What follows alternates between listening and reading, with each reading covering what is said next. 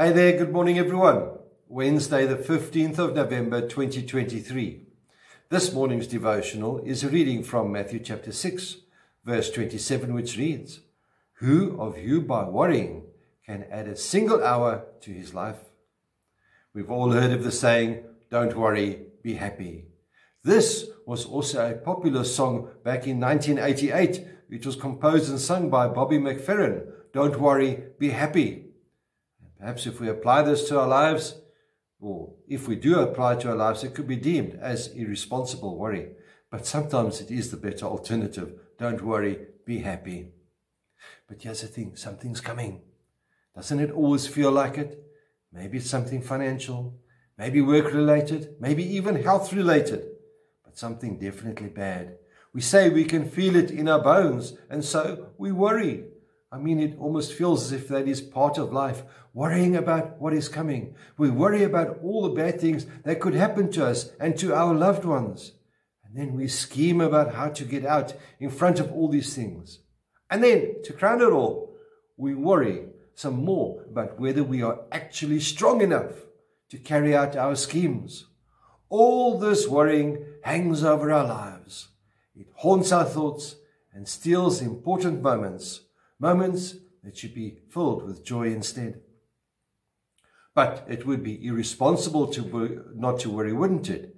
After all, we've been trained to worry all our lives.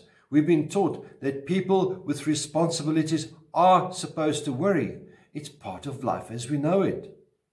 Or is it? Jesus Christ teaches us that it is actually not. You see, He didn't come so that we'd live our lives haunted by fear. He came and died to set us free from such things. Galatians chapter 5, verse 1 reads, It is for freedom that Christ has set us free. Stand firm then, and do not let yourselves be burdened again by a yoke of slavery. The yoke of slavery in this instance is worry. He assures us that our Father God will take care of us, whether we worry or not. And we can find that in Matthew 6, verse 26. So we must therefore adopt a radical new mindset, one of we don't know what's coming, but our Father God does, so we'll leave it to Him. Not reckless worry, just trust. My dear friends, how can we take action to prevent the worry from taking over our lives? Letting go of worry is tough. it's not easy. You must approach it not only intellectually, but practically too.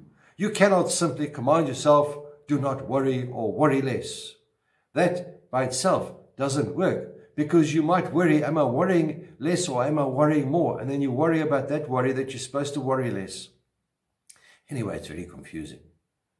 You must get practical by actually talking about your worries with a spouse or with a trusted friend that does work. Getting your worries out into, out into the open is as powerful as it is counterintuitive. So, my dear friends, let us give up worry as a bad habit because it just robs you of your joy.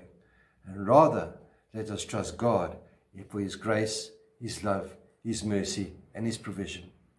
May the Lord be with you, may He bless you, may He cause His face to shine upon you and be with you always. Goodbye.